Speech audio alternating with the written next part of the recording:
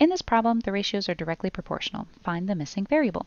Let's start by rewriting this in a way that's easier to see what we need to cross multiply.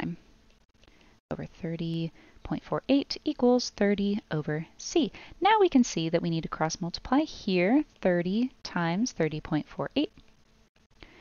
That's equal to this cross multiplication of 12 times c. Now, normally we would want to resolve this multiplication first and then divide both sides by 12. However, I'm going to recommend that we reverse this because we're dealing with a bit of a nasty decimal here. Anything we can do to simplify this math will make the this problem go faster and help you get to your correct answer faster. So let's divide both sides by 12, and we're dividing since this is multiplication here. And we want to do the opposite. These will cancel. Now we need to see how many times can 12 go into 30. 12 goes into 30 two times. 24 with a remainder of 6. We can add a decimal, bring down a 0. 12 goes into 60 five times. So, and that's evenly without remainder.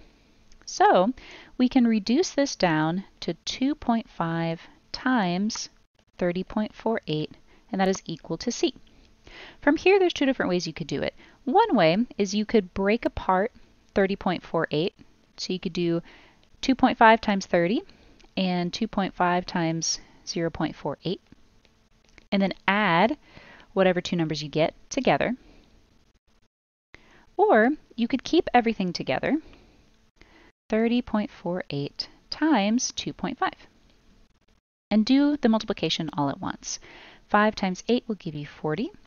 5 times 4 is 20, plus 4 is 24. 5 times 0 is 0, plus 2 is 2. 5 times 3 is 15 add a placeholder 0 and move on to 2.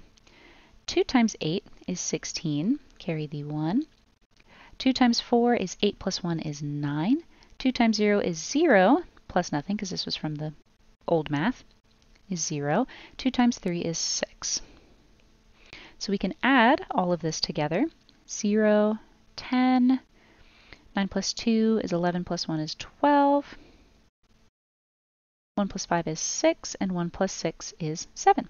Then we just need to count up our decimal places. 1, 2, 3. And apply that to our answer. 1, 2, 3. And that will give us 76.2, making C our correct answer.